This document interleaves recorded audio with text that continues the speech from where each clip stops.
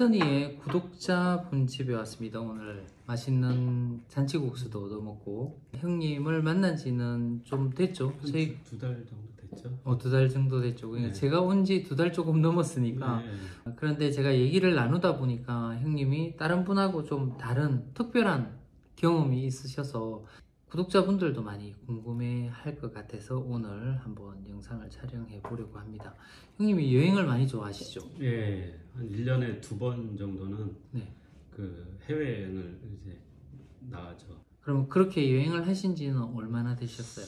한 20년 이상 된 것 같은데요. 와, 20년 이상. 그럼 시드니에 와서 어, 아니면 원래 시드니 오시기 예, 전에도 원래 전에도 여행을 어. 좋아했고 네. 뭐 예를 들면은 베트남 같은 경우 제가 처음 갔던 게 2003년도. 아, 2003년도니까 뭐딱 20년 전이네요. 네네. 그때 이제 우리가 이제 한국을 떠났으니까 베트남은 초반에 갔었고 그 전에도 여행을 좋아했고 음, 그래가지고 네. 초반에는 한 1, 2년 정도는 못 갔던 것 같고 그거를 제외하고서는 최소한 한 번은 갔고 네. 많이 갈 땐 세 번 갈 때도 있었고 그러니까 평균 한 1년에 한 두 번 정도는 여행을 떠났던 것 그럼 같아요 돈번 거 다 여행으로 쓰신 거 아니에요? 어, 그 여행하는데 많이 썼죠 어. 예. 어떤 나라 어떤 나라 이렇게 가보셨어요? 제일 인상적인 저한테 제일 인상적인 거는 네. 이제 북한을 네, 다녀오신 북한, 거고, 네, 네. 네. 그 형님한테 아. 인상적이었던 여행은 아, 나한테 좋았던 거는 뭐 주로 이제 동남아나 네. 그러니까 좀 저개발 국가를 많이 가는 게 음, 일단은 호주 사니까 사실은 호주의 문화 자체가 이제 유럽이나 이런 데 비슷하죠. 백인 문화니까 음, 유럽이나 미국이나 이런 데는 솔직히 별로 가고 싶은 생각도 없고 네. 그리고 호주란 나라가 되게 알다시피 뭐 떨어져 있는 나라다 보니까 여기서 갈 수 있는 나라가 제일 만만한 나라가 동남아시아예요. 여기. 제일 가깝고. 네, 그러니까 호주 바로 위에가 이제 음. 인도네시아. 물론 이제 뭐 저쪽 섬나라들 가면은 뭐 뉴질랜드 같은 경우 한 3시간 반 이 정도 그렇지만 비슷하잖아요. 그 외에 제일 가까운 나라는 인도네시아 이런 데가 음, 여기서 한 7시간 가야 돼요. 발리죠, 발리. 예, 발리가. 그러니까 호주 사람들이 발리를 엄청 많이 가는데 발리나 다른 동남아시아를 갈 때 되게 웃기는 게 한참을 갔는데도 아직도 호주인 거야. 네, 그러니까. 바로 발리가 바로 위에요. 네. 그런데도 여기서 한 7시간 걸려. 거의 대부분은 호주를 통과하는 시간인 네, 거예요. 맞아요. 호주는 여행하기는 정말 한국이 참 여행하기 좋은 것 같아요. 유럽을 가려고 해도 사실은 네. 한국을 경유해서 가든지 뭐 저쪽 동남아시아를 가- 경유해서 가는데 여기서 예를 들면 태국 같은 경우도 한 9시간 걸리거든요. 네, 한국은 10시간 좀 넘고. 네. 그러니까 이제 그거는 기본적으로 하, 고 플러스 이제 유럽 가려면 그렇게 그렇죠. 해야 되고 그러니까 그- 그리고 사실은 가면은 비용이 만만치 않고. 예, 유럽이나 이런 데는 비싸면서 내가 이제 호주의 백인 나라에 살다 보니까 뭐 그런 이제 이등 국민 같은 느낌들이 솔직히 있어요. 음, 음, 그런 게 있는데 굳이 뭐 내가 내 비싼 돈 내고 가면서 또 그런 예, 느낌을. 그런 유럽을 굳이 가야 되는가라는 그런 생각도 있고 아시아 국가들은 정말 안 가본 나라 없고 여러 번 어, 그것도 여러 번 가봤어요. 그런데 하다 하다 이제 북한까지 이제 세 번 갔다 오게 된 거예요. 아시아 국가 중에 뭐 어, 한국 사람이 북한을 간다라고 하게 되면 보통 사람들은 못 가는 걸로 네, 알고 있잖아요. 네. 어떻게 해서 갈 수 있는 거예요. 예, 그러니까 저 같은 경우는 이제 호주 시민권자다 보니까 네. 그러니까 제 국적은 이제 호주가 아, 되는 예, 거예요. 테크니컬하게 이제 호주인인 거죠. 네, 어, 네. 예, 그, 그러다 보니까 처음에 2018년도에 가게 된 게 쿠바를 가려고 네. 막 알아보고 있었어요. 근데 네. 막 보니까 후기에 보니까 막 돈을 요구하는 경우가 되게 많더라고 음. 많더라고요. 뭐 예를 들면 막 자기가 도와준다고 와서 하고 음. 또뭐 간단한 질문만 해- 하고 나서 또 돈 달라고 그러고 막 이러니까 보니까 좀 너무 심한 것 같더라고요. 읽어보니까. 그래가지고 나도 언젠가는 한번 북한 여행을 해야지 하는 생각을 하고 있었는데 어 그러면 예, 다른 분들이 북한 여행을 했다는 예, 걸 예. 책으로 예, 그러니까 알고. 오마이뉴스에 기, 음. 기사로 연재를 쫙 한 게 있어요. 아.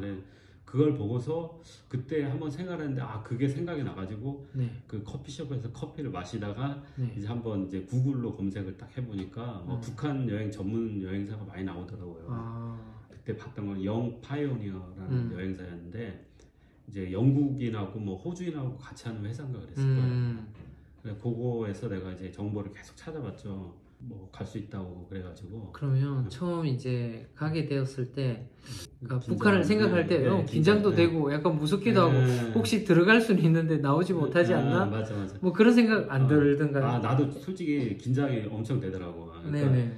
거기를 들어갈 수 있는 보통 이제 비행기 아니면은 이제 train을 타고 가는데 train 같은 경우는 경로가 어떻게 돼요? 그러면 그러니까- 호주에서 예, 어디로 호주에서 가서 중국 북경? 예, 그러니까 비행기 편이 있는 거는 물론 네. 옛날에는 다른 것도 있었다는데 지금 옛날에 싱가포르인가 뭐 거기서도 있었을 거예요. 근데 북한이 핵실험을 한 이후로 네. 제재 때문에 거의 많은 나라들하고 교류가 끊어졌는데 뭐 네. 알다시피 러시아나 중국은 중국은 사실은 무- 미국의 말을 무시할 수 있는 나라잖아요. 그러다 네. 보니까 지금 비행기가 있는 건 물론 이제 지금 팬데믹 기간 이후에는 지금은 아마 다 끊긴 걸로 알고 있어요. 네. 근데 이제 내 팬데믹 전에 갔다 왔으니까 나는 중국의 북경, 북경. 북경 이나 심양에서 어. 들어갈 수 있었고 어, 러시아에도 하나 있었는데 하- 어쨌든 나, 내가 알아본 건 중국이었기 때문에 네.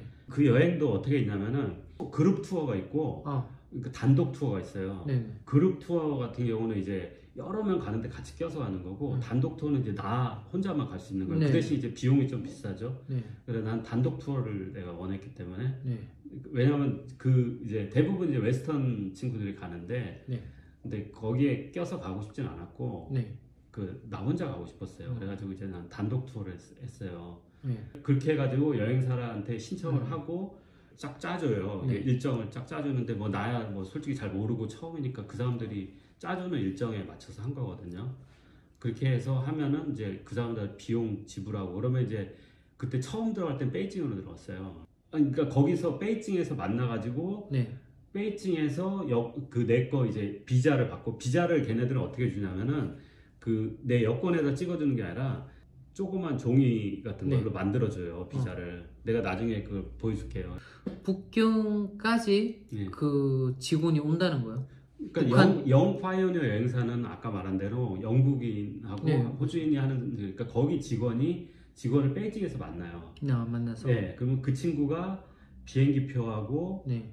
그 비자를 줘요. 어, 네. 그러면 이제 내가 거기서 그 혼자 가는 예, 예.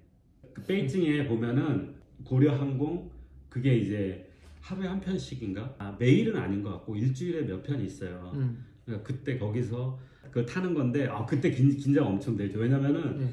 얘네들이 일부러 그런 것 같은데 그 타는 그이 게이트 있잖아요. 그것도 네. 거의 맨쪽 구석이야. 바깥으로 보면 비행기 서 있는 거 보이잖아요. 음. 고려항공 딱 해가지고 서 있어요. 타려고 앉아 있는 사람들 중에서 이제 북한 사람도 있고 음. 막 그런 거예요. 거기에. 여행자도 형님 말고도 혹시 있죠. 한국 사람이 있었어요? 한국 사람은 없죠. 한국 사람처럼 아, 보이는 없- 사람 없죠, 없었어요. 없죠, 없죠. 아. 네. 흔치 않죠, 정말. 음. 네. 미국에서는 간다는 이야기가 그러니까 많이 있던데. 미국만이 미국 시민권자.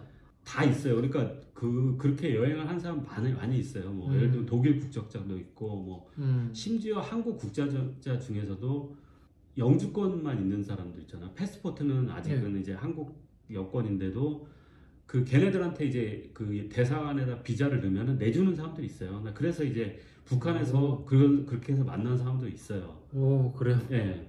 근데 이제 한국 사람들도 사실은 걔네들이 비자만 내주면 들어갈 수 있는데 음. 문제는 뭐냐면은 이제 한국에 이제 들어갈 때 문제가 되지. 국정원이나 이런 데서 아마 신고를 해야 되고 국정원한테 어떤 통제를 받을 거예요. 예, 그리고 그렇죠. 이제 저, 저는 이제 테크니컬하게 이 호주인이니까 네. 그러니까 그런 거하고 상관이 없는 거죠. 이제 들어갈 때 비행기 타고 평양으로 가신 거예요. 네, 평양 순환공항 아. 공항에 이제 거기 네, 네. 딱 내려서 어. 어, 공항에 들어갈 때 느낌이 어땠어요? 아 지금도 생각나는데 그 공항에 내려가지고 그때 이제 거기 들어가면 동전을 쓸 수 있다 그랬는데 유로 있잖아요. 네. 내가 이제 유로 동전이 많이 있어.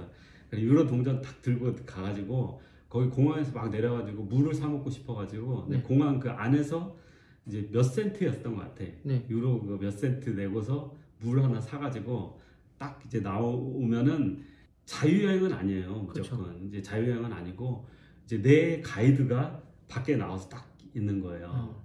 되게 사람들 다 친절해요. 엄청 음. 친절하고 뭐 거기서 공항에서 들어갈 때 이제 검색을 하죠. 그러니까 네. 뭐내 짐 중에서 이제 얘네들이 많이 많이 보는 게 뭐냐면은 USB 같은 거 있잖아요. 음. USB 이제 특히 얘네들이 포르노 같은 거 이제 음, 그런 게 이제 USB 같은 걸 통해서 들어오는 들어올까봐. 예, 예, 그런 거 많이 검사 본다고요. 많이 예.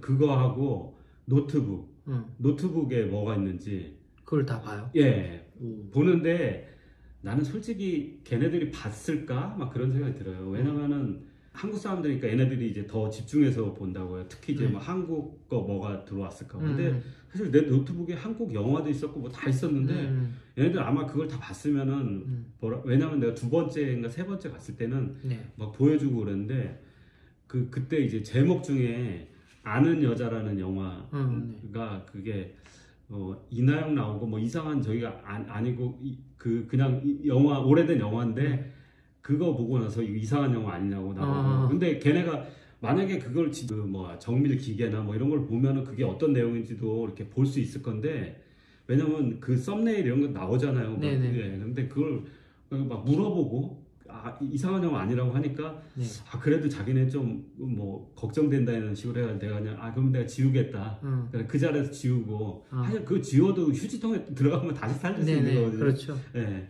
그러면 도착했을 때 형님을 기다리는 예. 여행사 직원 한 명. 예, 여행사 여행사 직원이 두 명이에요. 예, 왜냐면 내가 이제 그 외국인으로 돼 있으니까 영어 통역사 한 명. 아, 이거 필요 없는데도. 예, 필요 없는데도 무조건 이제 아, 영어 통역사 한 명, 그리고 이제 한국말 한명 그래가지고 한 명은 여, 여자, 한 명은 음. 남자였고, 통역사가 여자고. 예, 예, 그렇죠. 어, 그리고 한 명은 저기 기사. 그 기사. 아, 기사도 내가 무조건 무조건 차도 이제 렌트를 해야 되는 거예요. 그렇죠. 근데 만약에 세 명이 보필을 하는 거네. 그쵸 단체로 왔으면은 사실 여러 명이서 이제 그 분, 네. 분할이 되는 거지만 나 같은 경우 혼자 하기 때문에 내가 그걸 다 부담을 해야 하는데 음. 근데 사실은 그걸 다 부담해도 그렇게 비싼 금액은 아니었어요. 모든 게 싸요 거기는. 음, 그러면 호텔도 이제 네. 그 네, 외국인들이 잘수 있는 호텔이 네, 딱 네, 정해져 있어요. 많아요. 많은데 내가 그 예를 들면 5성급에 자고 싶다라든지 그거는 3성급 아, 그 선택할 수 있어요. 있어요. 예. 어, 내가 했던 건 나 5성급 해가지고 네. 대동강이 있는데 거기 보면 양각도라고. 한국으로 치면 여의도 같은 느낌인 거야. 아, 예, 네. 그러니까 예. 그 양각도 안에 음, 그 호텔. 응, 호텔이 있어요. 그래서 양각도 호텔인데 엄청 커요. 엄청 높고 나름대로 막 이렇게 대리석으로 쫙 돼 있고 그런데 이제 손님들이 없으니까 이제 낡았죠. 음, 그러면 이제 형님은 약간 낯설고 불안하기도 하고 했을 건데 여행 가이드들은 어떻게 받아들여요? 한국 사람인 거 알잖아요. 예, 호주에 예, 살지만 예, 예. 그런 경우가 많아서 신기하게 안 보는 건지 아니면 약간 신기하게 보고 그러니까 질문도 하고 하는 건지. 거기는 이제 음, 조선 국제 여행사라는 어, 우리로 치면은 뭐 뭐랄까 예를 들면 내가 한국에 여행 가면은 뭐 하나 투어가 있듯이 네. 걔네들은 이제 물론 이제 정부 소속이죠 다 네, 정부 네. 소속이면 조선 국제 여행사라는 그 여행사가 있는데 거기 소속된 그 가이드들이고 주로 이제 외국인들을 상대하지만 음, 가끔가다 이제 이런 한국인이 이제 나 같은 교포들이 여행을 오는 거예요. 그래서 이제 걔네들은 이제 교포라고 안 하고 동포라고 그러는데 걔네들 입장에서는 뭐 음, 여기나 저기나 동포인 거야. 음. 어, 그렇게 오는 사람들이 종종 있기 때문에 이 사람들한테는 그렇게 신기한 일은 아니지만 음. 그래도 이렇게 또 많이 흔하지는 않기 때문에 뭐 말로는 이제 더 반갑다고 음. 하는데 아, 그거는 속마음이야 뭐 다 모르는 거긴 하죠. 그러면 그 사람들이 어, 호주 생활에 대한 질문이나 개인적인 질문 이런 걸. 안 해요. 절대 없죠. 아 못하게 하나 보다. 궁금할 것 같은데. 네. 이게 참 나는 이제 해외 여행 하다 보면은 그 이제 북한 그 식당들 있잖아요. 네, 북한 식당들도 그 나라에 있으면은 꼭한 번씩 가보거든요. 저도 가봤어요. 네, 네, 그- 그때 내가 네. 그 봤는데 거기에 들어가면은 우리가 그 말을 하면 아, 그 사람들하고 대화를 하잖아요. 근데 네. 그 사람 절대로 속마음을 얘기 안 해요. 어. 왜냐면은 그 북한의 어떤 공작원이거나 뭐 이러면 어떻게 그러니까 절대로 속마음을 얘기 안 해요. 음. 그러니까 근데 질문을 할 수 있을 것 같은데 질문 자체도 안 하죠, 그죠? 세 번 여행했다고 그랬잖아요. 네네. 내가 어, 느낀 거는 첫, 첫 번째는 여행사를 통해서 갔고요. 음, 두 번째, 세 번째는 어떻게 하냐면 내가 이제 첫 번째 가서 이제 알게 된 건데 음, 그 사람들 말에 의하면은 조선, 조선 민주주의 인민공화국이라고 하기 때문에 조선이라고 그러고 우리를 남조선이라고 불러요. 우리가 이제 우리는 한국이고 걔는 북한을 음. 부르듯이 그렇기 때문에 걔네들 입장에서는 외국에 사는 동포인 거예요. 음, 그러니까 걔네도 우리 우리에도 우리도 이제 통일부가 있잖아요. 네. 그런 것처럼 걔네도 그런 통일과 관련된 부서가 있고 거기 산하에 해외 네. 동포위원회인가 뭐 그런 게 있어요. 거기를 통해서 또 갈 수 있는 방법이 있어요. 그래서 그래서 두 예, 번째, 세 번째는 음, 그런 식으로 갔어요. 아, 그러니까. 근데 그 사람들은 정말 공무원인 거죠. 그 정부 부처 중에 하나니까 아, 거기 사람들은 정말 딱딱해요. 어, 그럼 네, 네. 그럼 비용은 어때요? 두세 번째도 두- 똑같았어요? 내가 이렇게 보니까 두세 번째가 더 싸긴 싸요. 음, 더 싸긴 싸. 근데 이제 비용은 쓰기 나름이에요. 왜냐하면 음. 첫 번째는 모든 게 all include야. 아침, 점심, 저녁 다, 아, 다 포함. 그런데 사실은 내가 좀 더 먹고 싶은 것도 있고 다른 네. 데 요거 말고 딴 거 먹고 싶기도 하고 그랬잖아요. 예를 들면 피자 가게 가고 싶기도 하고 거기도 피자 가게가 있거든요. 네. 왜냐면 나는 가기 전에 이제 유튜브나 외, 외국인들이 올려놓은 걸 많이 보고 갔거든요. 네. 근데 그 사람들은 뭐 피자 가게 가고 막 이런 것도 있고 그러니까 네. 나도 이제 뭐 치킨집도 가고 싶고 그래서 갔거든요. 이제 첫 번째는 다 인클루드니까 그거를 내가 못 하는 거야 자유롭게. 음, 네. 예, 그러니까 예를 들어서 그런 데 가서 먹겠다 하면은 다 날리는 거지. 그 음. 내가 돈 냈던 거는. 네. 근데 두 번째, 세 번째 갔을 때는 내가 다 이제 뭐 가고 싶은 데 가, 서 먹을 수 있고 내가 이제 먹고 나서 페이는 내가 다 하는 거니까 음, 두 번째, 세 번째는 이제 공무원이 그 나를 이제 가이드 한다고 따라 붙거든요. 네. 근데 이제 그 사람들도 이제 내가 다 사주죠. 예, 음. 다 모든 걸 다 내가 페이를 하- 하게 되죠. 비용이 어느 정도 들었어요? 한번 갔다 온 전체적인 비용이 비행기 값하고 포함해서 예, 첫 번째 갔을 때는 5박 6일이었고 네. 두 번째, 세 번째 갔을 때는 일주일 있었던 것 같아요. 네. 7박 8일이었던 것 같아요. 어, 한 200만 원?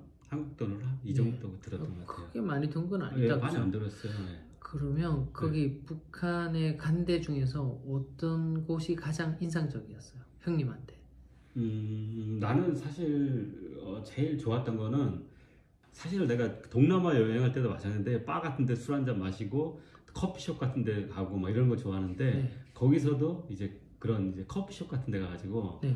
커피 마시고 같이 하- 마시면은 또 거기 종업원 있잖아요. 네. 종업원들이랑 물론 이제 깊은 아까 얘기한 것처럼 깊은 얘기를 할 수는 없지만 아, 네. 그래도 뭐 농담도 할 수 있고 좀 얘기도 하고 막 음. 그랬던 게 이제 좋았던 것 같고 그럼 평양의 발전상 아, 정도 어느 그러니까 정도? 북한은 정말 독특한 나라예요. 그러니까 음.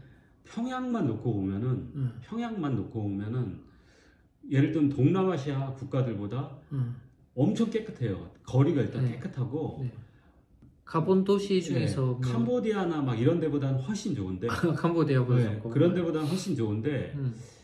베트남이나 이런 데랑 비교하기엔 좀 그런 게 베트남은 요즘에 막그 어, 새로운 발전하고 빌딩들이. 막 네. 있잖아요. 근데 거기도 새로운 빌딩들이 있기는 한데 그 정도는 또 아니야. 화려한. 예, 그, 예, 그. 정도 화려하지 않은데 몇 군데만 그렇게 좀 음. 고층 빌딩 뭐 여명거리라고 막 내가 갔을 때는 근데 그 여명거리 같은 거 보면 내가 나중에 사진 보여줄게 이제 아주 반짝반짝해요. 반짝반짝하고 진짜 빌딩도 멋있게 잘 졌어요. 음.